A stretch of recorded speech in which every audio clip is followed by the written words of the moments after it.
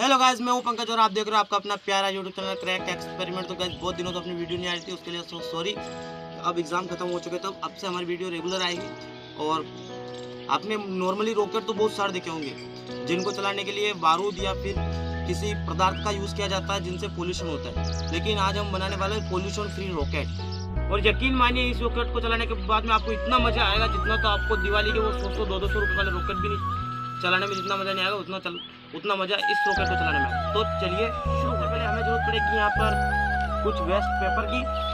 यह जो पेपर है वेस्ट है। और अब हमें क्या करना है, आप किसी भी नॉर्मल पेपर का यूज़ कर सकते हो, किसी भी तरह का। हमें इस, एक, इस तरीके के पाइप को इसके अंदर लेना है और इसको कुछ इस तरीके से लपेट देना है। हल्का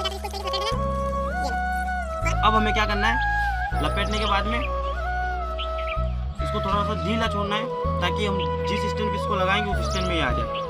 और अपने अंदर वाले पाइप को बाहर निकाल दें। और अब हम इसको चिपका लेते हैं टेप तो यहाँ पर हम दो तीन टेप चिपकाएँगे ये रही एक टेप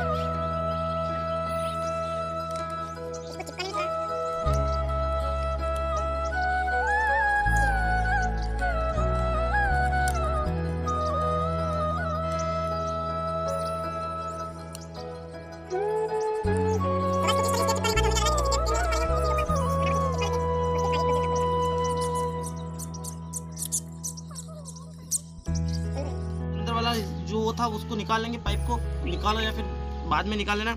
और हमें क्या करना है कि इसको यहाँ पे कुछ इस तरीके से टेप लगानी है और इसको बिल्कुल एयर टाइट बनाना है। तो टेप लगाने का मैं आपको आसान सा जुगाड़ बताता हूँ। आप पहले इसको कुछ इस तरीके से रखिएगा। वो जो अंदर वाला पाइप, उसको थोड़ा पकड़ के रखिएगा और फिर कुछ इस तरीके से इधर लगा देना। और फिर आप इसको काट लेना आराम से। मतलब आप कैसे भी लगाओ, पर आपको इतनी एक बात का ध्यान ज़रूर विशेष रखना है कि इसको बिल्कुल एयर टाइट बनाना है। और अब हम एक टेप इस साइड से लगा देंगे, जिससे कि बिल्कुल एयर टाइट बन जाए। इसके अंदर से बिल्कुल भी हवा थोड़ी सी भी बाहर नहीं निकलनी चाहिए, और कुछ इस तरीके से। तो गाइस ये बन के तैयार हो चुका है हमारा रॉकेट कुछ इस तरीके का हमने यहाँ से इसको पूरा एयरटाइट कर दिया और इसको यहाँ पे टेप लगा दी। अब आप सोचोगे ये रॉकेट चलेगा कैसे? तो इसको चलाने का जुगाड़ भी मैं आपको दिखाता हूँ।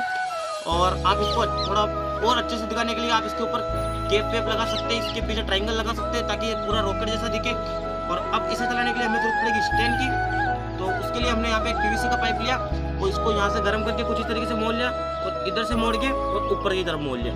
और यहाँ से जो हवा निकलेगी, इसके इसके लिए हम इसको भी एयर टाइट कर देंगे। इसकी मदद से। इस थोड़ी बड़ी वाली टेप में। आप चाहे तो किसी की मदद से ग्लू की मदद से या फिर किसी और चीज़ की मदद से इसको पूरा एटाइट कर सकते हो। तो मैं टेप निकाल लेता हूँ और अब इसको मैं थोड़ा अच्छे से एयरटाइट कर लेता हूँ। क्योंकि अगर यहाँ से हवा निकलेगी तो फिर हवा इतनी ज़्यादा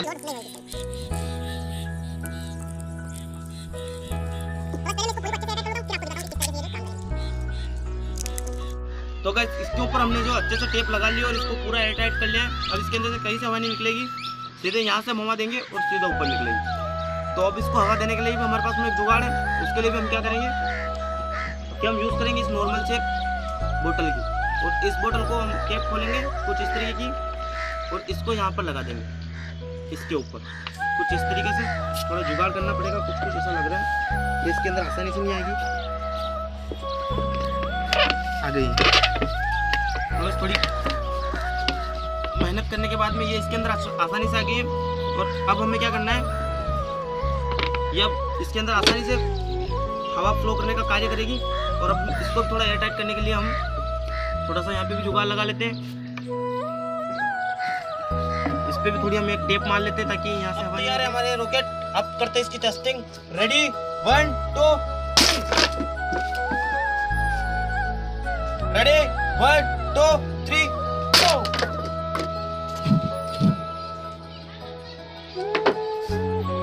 तो गाइस कैसा लगा आपको हमारा ये रॉकेट लॉन्चर लॉन्चर और अगर आप टेप की जगह अगर आप इसको अंदर, आप इसको वो जो जॉइंट आते हैं ना टी वाले, अगर उनसे ज्वाइन करोगे तो उसकी हवा लीकेज नहीं होगी और ये काफ़ी अच्छे से वर्क करेगा।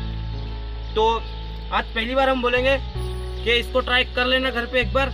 देख, आप भी कहोगे वास्तविकता में मज़ा है तो आज की वीडियो में बस इतना ही। मिलते हैं नेक्स्ट वीडियो में। तब तक के लिए जय हिंद, जय भारत।